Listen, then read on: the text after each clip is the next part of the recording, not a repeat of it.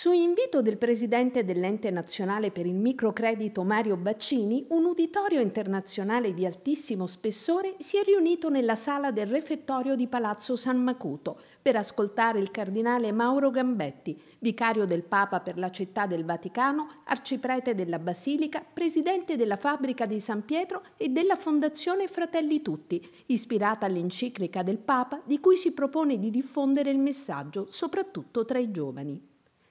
Sorella Economia, il profilo sociale dell'enciclica Fratelli Tutti, appunto, il tema dell'incontro introdotto dal giornalista e docente di geopolitica vaticana Piero Schiavazzi, nel corso del quale è stata evidenziata la necessità, resa ancora più pressante dall'attuale congiuntura di guerra e di crisi economica internazionale, di un'economia solidale e allo stesso tempo sostenibile, attraverso la valorizzazione degli strumenti propri dell'economia sociale di mercato, tra cui lo stesso Santo Padre Francesco ha citato il microcredito e la microfinanza, che consentono a chi non è bancabile per la finanza tradizionale di accedere al credito e trasformare così la propria condizione. Direi che anche questa è un'evoluzione, passare a una forma evoluta di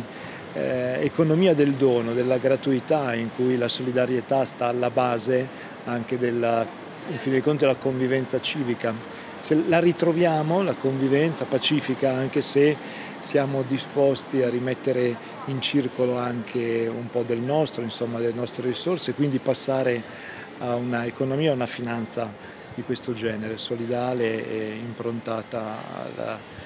al, al, dono da moltiplicare, da distribuire e moltiplicare. L'economia sociale è l'alternativa dell'automatismo del mercato perché il mercato ha come unico obiettivo il profitto, l'economia sociale ha come obiettivo la soddisfazione dei bisogni della persona, si realizza con la condivisione di politiche sostenibili, con la condivisione e il sostegno anche a tutte quelle fasce che rischiano di rimanere indietro, quelle fasce di persone, di aziende, di imprese, ecco noi stiamo facendo questo. È una delle più belle iniziative in cui la morale e l'etica cattolica incontrano la finanza e la finanza quella bella, quella inclusiva, quella del microcredito.